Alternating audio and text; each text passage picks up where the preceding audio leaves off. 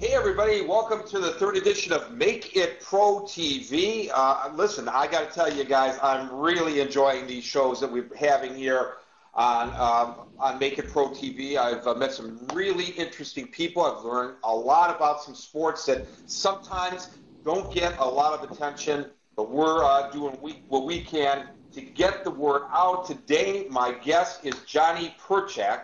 He is a professional paintballer. Uh, I, I, really didn't even know that there were professionals. Uh, I knew there were people that went out and, and did paintballing uh, competitions, but I never knew that people actually did it professionally. And uh, before we get to the interview, Johnny, I dug up a video of some paintballers going at it just to give the audience, uh, acclimate the audience a little bit into what that's all about.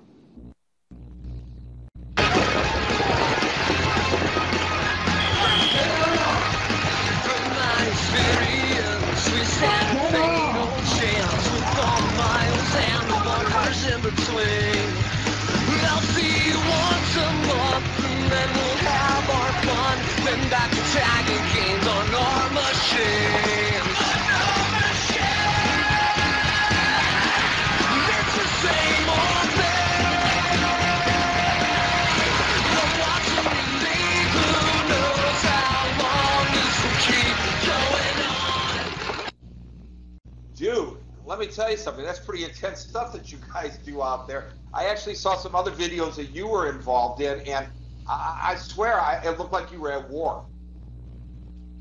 Yeah, it's pretty fun. I actually was in that video a couple times. Um, I think that video's, I don't know, I want to say about four years old. Um, so it's kind of cool watching that. But yeah, it's it's pretty intense.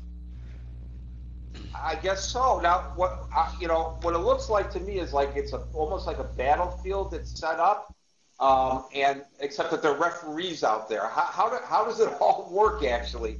Um, when you get shot once, you're dead, and that's it, and the last man standing, his team wins. Uh, essentially, yeah, it's something like that. It's um, anywhere you get shot in your equipment and your shoe, um, one one hit and you're eliminated. Um, and um, the field's basically cut in half, is mirrored on both sides. Uh, there's a flag station on both ends. Um, there's seven minute games and um, yeah, you kind of just go at it for seven minutes, and um, there's a flag on either end. You want to go down and get get your opposing team's flag and bring it back. Um, that pretty much only happens when everyone's dead, so um, or eliminated, excuse me. Um, yeah, it's it's uh, as you can see, it's pretty intense. Yeah, it, it looks intense, but it looks like it's a lot of fun too. And the good news is, if you, you are dead, but you come back to life so it's not the end of the world. Now, do you have to be a good uh, marksman to begin with to be able to become a paintballer, John? Um, I'm sure it helps. You know, I, have never really been into hunting. Um, I have shot guns before, actually quite a bit. Um, but a paintball gun's different because there's no true sight um, over the feed tube across from like essentially where the barrel is. You have a loader, and that's what feeds the paintballs, and it feeds it directly into the gun and that obstructs kind of your view of where you're able to look down the barrel. So uh, you kind of just have both eyes open, and it's a point and shoot. Um, and it kind of just takes practice, and uh, you, you kind of just get used to where you're aiming. And uh, is there a strategy? How many people are on each team when you do this? Um, well, there's there's a couple different uh, a couple different national circuits. Um, the one you guys were just watching, it's uh, seven on seven. Um, but then you kind of have like a, a, bench, so to speak, um, where you can rotate people in. Uh, obviously, not during the game, after each match. Um, and I guess there's usually around maybe 10 to 12 people on a team. Yeah. So do you, do you guys do a battle plan? Like, uh, is there somebody who's like the platoon sergeant? I exactly how you're going to do this, or or how does it actually work? Uh, well, it's not. Uh, it's not so much like uh, set up like the military, where you, you have a you know like you said a platoon sergeant, um, but excuse me on uh, on on most teams there is uh, like a captain, so to speak, um, who makes decisions. And um, on our team, we're kind of uh, we're kind of all chiefs. We don't have too many Indians, so we kind of collectively make make strategies. But yeah, they give you a they give you about three to four weeks ahead of time. They give you the field layout. It's different every every event. Um, that gives you enough time um, where most teams have their own their field set up. Um, you set it up the way it's going to be set up at the event. You can practice it, you can run different plays, and um, yeah, there's a lot that goes into it. Yeah, it seems, it seems to be. Uh, now, how'd you get your start in, in, in uh, paintballing, and how'd you become a pro? I, as I said at the onset of the show, uh, Johnny, I didn't even know that uh, people could uh, become a professional paintballer.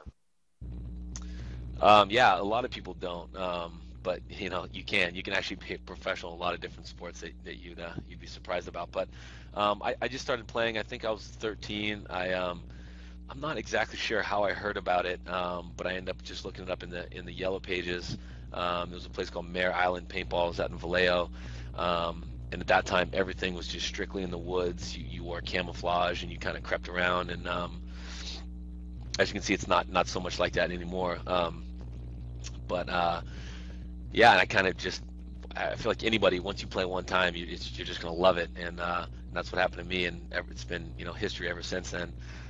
I think since then, I, I think I turned pro when I was uh, 18, so I'm about to have my 10th year uh, in my pro season. One of uh, the people in our virtual auditorium here on Make It Pro TV, the nickname uh, this person uses is Cavanil, uh, wants to know how do you become a professional uh, gamer? Is there a school to get into it, and how much does it does all the equipment cost? Um, well, there's no, I guess there's no real fast track to being a professional you know paintball player, kind of kind of um, like any other professional sport. Um, but you know you kind of just have to pay your dues and um, and you start out kind of playing local tournaments and then they have uh, they have national amateur tournaments you can play in and then there's a national um, like tournament circuit where you, your team can play in all, all, the different events over the United States. There's about five a year, um, and it's a points race and I guess uh, the best way to do it would be to try to win the amateur points race, and then you get an. Um, if you do that, then you get an official professional spot if you if you choose to take it. Um, and I guess that's the fastest way to become pro. Um, but I think it takes a little longer than that. The first 30 people to leave uh, you uh, a, a, message, by the way, on your uh, wall using your Paltalk ID uh, will get a free Paltalk Premium upgrade. So it's the first 30. So I'm going to tell you, go to makeitpro.com slash profile slash Johnny dash Perchak, P-E-R-C-H-A-K. Only the first 30 get a free upgrade. So uh, rock and roll, guys. So you went pro, and then you kind of took a break from it all, I understand, and then came back to it and uh, decided to uh, start your own professional team. Um, something like that. Yeah, I went pro um, in in um, geez, 99 or 2000. I kind of forget. Uh, with with Team Dynasty, the team that I'm currently on now, um, and then uh, gosh, I think it was in like 05 or 06. Um, I decided to to retire, and um, I was having some problems uh, flying. I, I, to you know, and to be professional paintball, you, you play all over the world. I used to fly about 100,000 miles a year, and um, I just started to, to not like flying at all anymore. It was it really bothered me, and I was driving to the events, and it it uh, it made it real difficult. So I decided to stop, and um, and then. Um,